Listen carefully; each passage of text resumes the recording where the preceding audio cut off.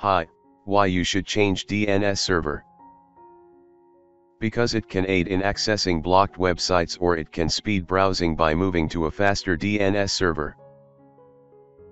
DNS Jumper is a tool which makes this easy for you.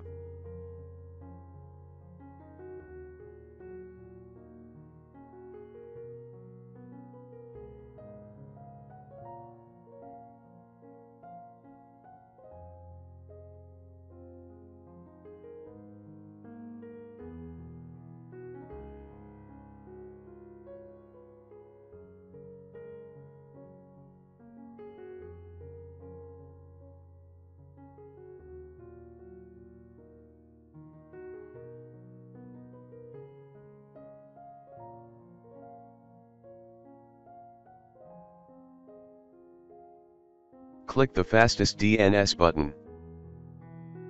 Click the Start DNS Test button.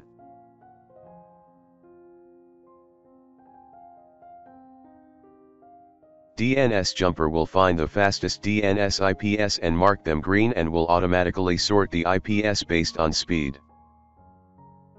The fastest DNS server will be auto-selected and you can click Apply DNS Server in the bottom right of the window to apply it.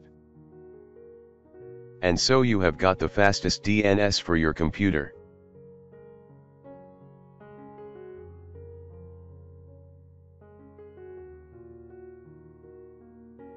Thanks for watching, don't forget like and subscribe.